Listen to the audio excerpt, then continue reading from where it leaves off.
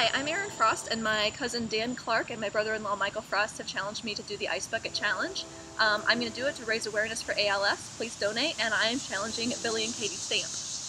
Um, Andy Frost, my brother Michael, also challenged me, so I challenged my mom and dad, uh, Tom and Bobby Frost. So Kelly, Michael, Amy, make sure they know about it. That way they can do it too. All right, here goes. Erin first. You I had to go first. I thought we'd do it together. oh. you got the colder one.